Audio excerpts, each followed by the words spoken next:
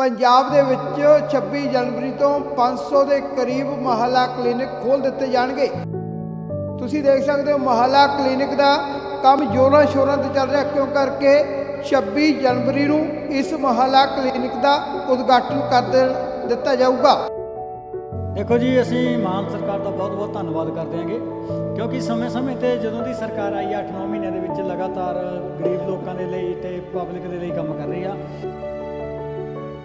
ਪੰਜਾਬ ਦੇ ਮੁੱਖ ਮੰਤਰੀ ਭਗਵੰਤ ਸਿੰਘ ਮਾਨ ਵੱਲੋਂ ਪਿਛਲੇ ਦਿਨੀ ਐਲਾਨ ਕੀਤਾ ਗਿਆ ਸੀ ਕਿ 26 ਜਨਵਰੀ 2023 ਨੂੰ ਪੰਜਾਬ ਦੇ ਵਿੱਚ ਤਕਰੀਬਨ 500 ਮਹੱਲਾ ਕਲੀਨਿਕ ਹੋਰ ਨਵੇਂ ਖੋਲ ਦਿੱਤੇ ਜਾਣਗੇ, ਜਿੱਥੇ ਪੰਜਾਬ ਸਰਕਾਰ ਨੇ ਪਹਿਲਾਂ ਹੀ ਪੰਜਾਬ ਦੇ ਵਿੱਚ ਮੁਹੱਲਾ ਕਲੀਨਿਕ ਖੋਲ ਦਿੱਤੇ ਗਏ ਨੇ, ਉਸ, ਉਹਨਾਂ ਦੀ ਸਫਲਤਾ ਨੂੰ ਦੇਖਦੇ ਹੋਏ। ਤਾਂ ਉਹਨੂੰ ਦੱਸਦੇ ਕਿ ਜੇ ਪੰਜਾਬ ਸਰਕਾਰ ਲਗਾਤਾਰ ਉਪਰਾਲੇ ਕਰ ਰਹੀ ਹੈ ਕਿ ਮੁਹੱਲਾ ਕਲੀਨਿਕ ਦੇ ਨਾਲ ਨਾਲ ਜਿੱਥੇ ਆਖਿਆ ਜਾਂਦਾ ਕਿ ਸਿਹਤ ਸਹੂਲਤਾਂ ਅਤੇ ਐਜੂਕੇਸ਼ਨ ਨੂੰ ਮੁੱਖ ਰੱਖਦੇ ਹੋਏ ਪੰਜਾਬ ਦੇ ਵਿੱਚ 26 ਜਨਵਰੀ ਤੋਂ 500 ਦੇ ਕਰੀਬ ਮਹੱਲਾ ਕਲੀਨਿਕ ਖੋਲ ਦਿੱਤੇ ਜਾਣਗੇ। ਤਾਂ ਉਹਨੂੰ ਤਸਵੀਰ, ਜੋ ਤੁਸੀਂ ਤਸਵੀਰ ਦੇਖ ਰਹੇ ਹੋ, ਅਜੀਤ ਨਗਰ। ਅਜੀਤ ਨਗਰ ਦੀਆਂ ਸੰਗਰੂਰ ਦੀਆਂ ਤਸਵੀਰਾਂ ਨੇ ਇਹ, ਜਿੱਥੇ ਤੁਸੀਂ ਦੇਖ ਸਕਦੇ ਹੋ ਮਹੱਲਾ ਕਲੀਨਿਕ ਦਾ ਕੰਮ ਜੋਰਾਂ ਸ਼ੋਰਾਂ ਤੇ ਚੱਲ ਰਿਹਾ, ਕਿਉਂ ਕਰਕੇ?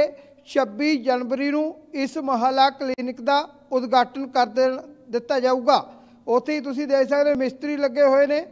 ਪੂਰੀ ਮਾਰੋ ਮਾਰ, ਜੇਕਰ ਆਖਿਆ ਜਾਵੇ ਤਾਂ ਕੰਮਕਾਰ ਚੱਲ ਰਿਹਾ। ਕਿਉਂ ਕਰਕੇ ਪੰਜਾਬ ਦੇ ਮੁੱਖ ਮੰਤਰੀ ਭਗਵੰਤ ਸਿੰਘ ਮਾਨ ਵੱਲੋਂ ਐਲਾਨ ਕੀਤਾ ਗਿਆ ਕਿ 26 ਜਨਵਰੀ 2023 ਨੂੰ ਪੰਜਾਬ ਦੇ ਵਿੱਚ 500 ਦੇ ਕਰੀਬ ਮਹੱਲਾ ਕਲੀਨਿਕ ਹੋਰ ਖੋਲ ਦਿੱਤੇ ਜਾਣਗੇ ਜਿਸ ਦੀ ਤਰਜ਼ ਤੇ ਅਜੀਤ ਨਗਰ ਵਿਖੇ ਸੰਗਰੂਰ ਦੇ ਵਿੱਚ ਮਹੱਲਾ ਕਲੀਨਿਕ ਦੀ ਉਸਾਰੀ ਕੀਤੀ ਜਾ ਰਹੀ ਹੈ। ਸਾਡੇ ਨਾਲ ਠੇਕੇਦਾਰ ਵੀ ਮੌਜੂਦ ਨੇ ਨਾਲ ਗੱਲ ਕਰ ਲੈਣੀ ਵੀ ਕਦੋਂ ਤੱਕ ਕੀ ਨਾਮ ਸਰ?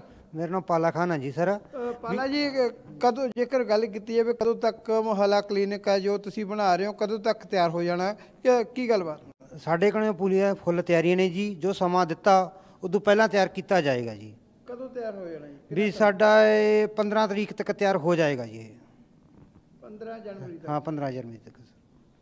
ਔਰ ਬਿਲਕੁਲ ਤੁਸੀਂ ਸੁਣਿਆ ਪਾਲਾ ਖਾਨ ਨੇ ਆਖਿਆ ਕਿ 15 ਜਨਵਰੀ ਤੱਕ ਯਾਨੀ ਕਿ 26 ਜਨਵਰੀ ਤੋਂ ਪਹਿਲਾਂ ਇਹ ਮੁਹੱਲਾ ਕਲੀਨਿਕ ਤਿਆਰ ਹੋ ਜਾਵੇਗਾ। ਸਾਡੇ ਨਾਲ ਮੁਹੱਲਾ ਵਾਸੀ ਮੌਜੂਦ ਨੇ ਉਹਨਾਂ ਨਾਲ ਗੱਲ ਕਰ ਲੈਣੇ ਕੀ ਨਾਮ ਹੈ ਸਰ? ਮੇਰਾ ਹੀ ਅਵਤਾਰ ਸਿੰਘ ਤਾਰਾ ਜੀ।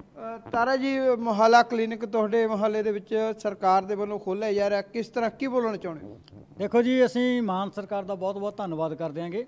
ਕਿਉਂਕਿ ਸਮੇਂ-ਸਮੇਂ ਤੇ ਜਦੋਂ ਦੀ ਸਰਕਾਰ ਆਈ 8-9 ਮਹੀਨਿਆਂ ਦੇ ਵਿੱਚ ਲਗਾਤਾਰ ਗਰੀਬ ਲੋਕਾਂ ਦੇ ਲਈ ਤੇ ਪਬਲਿਕ ਦੇ ਲਈ ਕੰਮ ਕਰ ਰਹੀ ਆ।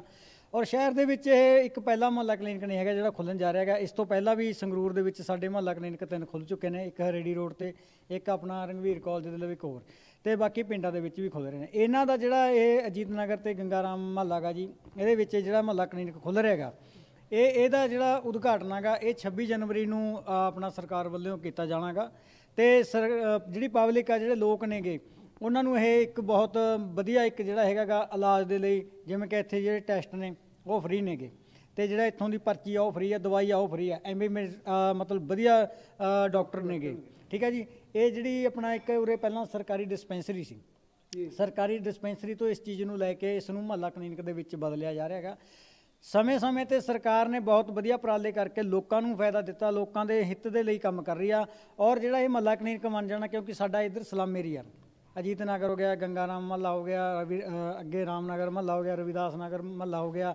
ਇਹ ਬਹੁਤ ਸਲਮ ਏਰੀਏ ਨੇ ਜਿਨ੍ਹਾਂ ਨੂੰ ਇੱਥੋਂ ਲੋਕਾਂ ਨੂੰ ਬਹੁਤ ਫਾਇਦਾ ਮਿਲਣਾ ਗਾ ਇਸ ਮਹੱਲੇ ਕਲੀਨਿਕ ਨਾਲ।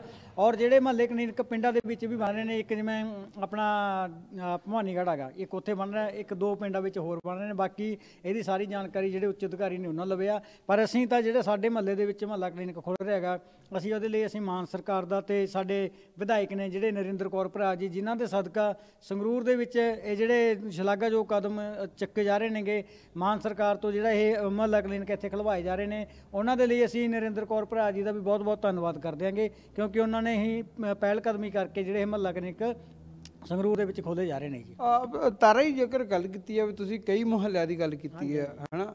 ਲੱਗਦਾ ਚਾਰ ਪੰਜ ਮੁਹੱਲਿਆਂ ਨੂੰ ਇਸ ਮੁਹੱਲਾ ਕਲੀਨਿਕ ਖੋਲਣ ਦੇ ਨਾਲ ਵੱਡਾ ਲਾਭ ਹੋਵੇਗਾ ਲੋਕਾਂ ਨੂੰ ਕਿਉਂਕਿ ਲਗਾ ਜੇਕਰ ਗੱਲ ਕੀਤੀ ਜਾਵੇ ਤਾਂ ਗਰੀਬ ਅ, ਬਸਤੀਆਂ ਨੇ ਗਰੀਬ ਲੋਕ ਜ਼ਿਆਦਾਤਰ ਰਹਿੰਦੇ ਨੇ। ਹਾਂਜੀ ਬਿਲਕੁਲ ਹੀ ਮੈਂ ਉਹੀ ਗੱਲ ਕਰਕੇ ਹਟਿਆ ਜਿਹੜਾ ਪਹਿਲਾਂ ਇੱਥੋਂ ਸਾਡੇ ਹਰੇੜੀ ਰੋਡ ਆ ਜੀ ਹਰੇੜੀ ਰੋਡ ਉਧਰ ਪ੍ਰੀਤ ਨਗਰ ਹੋ ਗਿਆ ਜੀ ਅੱਗੇ ਸੰਤਾਤਰ ਸਿੰਘ ਨਗਰ ਹੋ ਗਿਆ ਬਾਬਾ ਬੰਦਾ ਆਪਣਾ ਹੋਰ ਮਹੱਲੇ ਹੋ ਗਏ ਜੀ ਭੱਠਲ ਕਲੋਨੀ ਹੋ ਗਈ ਹਰੇੜੀ ਰੋਡ ਹੋ ਗਿਆ ਅੱਗੇ ਲਵੇ ਲਾਉਣ।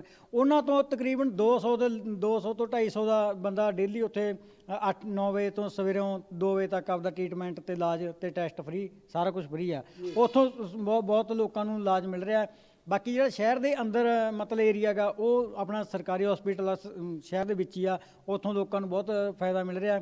ਜਿਹੜਾ ਇਹ ਮਤਲਬ ਹੈਗਾ ਗਾ, ਇਹ ਸਲਾਮ ਏਰੀਆ ਇੱਥੋਂ ਵੀ ਮਤਲਬ ਕਈ ਇਲਾਕੇ ਨੇ, ਕਈ ਮਹੱਲੇ ਨੇ ਕਿ ਜਿਨ੍ਹਾਂ ਨੂੰ ਬਹੁਤ ਫਾਇਦਾ ਮਿਲਣਾਗਾ ਪਹਿਲਾਂ ਇੱਥੇ ਡਿਸਪੈਂਸਰੀ ਸੀਗੀ, ਪਰ ਹੁਣ ਮਹੱਲਾ ਕਲੀਨਿਕ ਬਣਨ ਨਾਲ ਇੱਥੇ ਸਾਨੂੰ ਹੋਰ ਵੀ ਬਹੁਤ ਖੁਸ਼ੀ ਹੈਗੀ ਵੀ ਸਾਡੇ ਮਹੱਲੇ ਦੀ ਤਰੱਕੀ ਹੋ ਰਹੀ ਹੈਗੀ, ਕਿਉਂਕਿ ਇੱਥੇ ਇੱਕ ਮਹੱਲਾ ਕਲੀਨਿਕ ਮਾਨ ਸਰਕਾਰ ਵੱਲੋਂ ਬਣਾਇਆ ਜਾ ਰਿਹਾ ਹੈਗਾ ਜੀ।